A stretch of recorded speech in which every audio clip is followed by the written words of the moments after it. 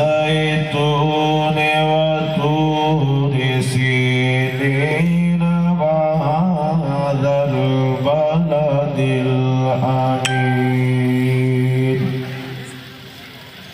لقد خلقنا الإنسان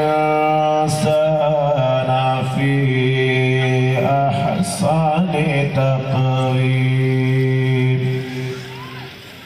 ثم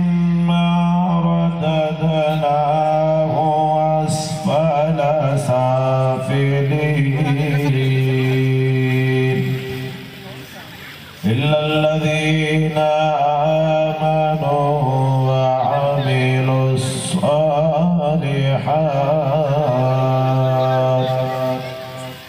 فلهم أجر غير ممنون.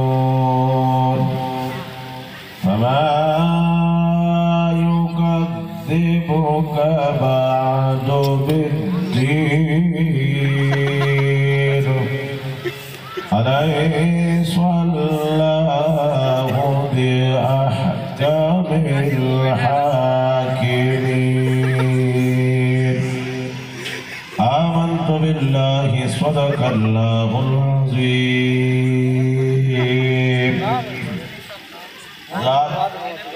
تلاوت کلام رحمان سے آج کی اس محفل کا آغاز ہو چکا ہے۔